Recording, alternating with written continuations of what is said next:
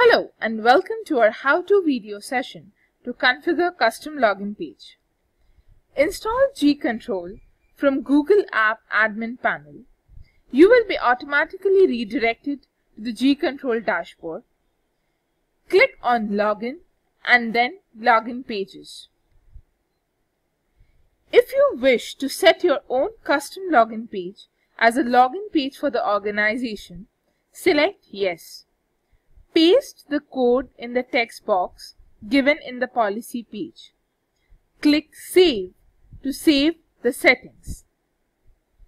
If you would like to set default login pages by Cloud CloudCodes as the login page for the organization, select No.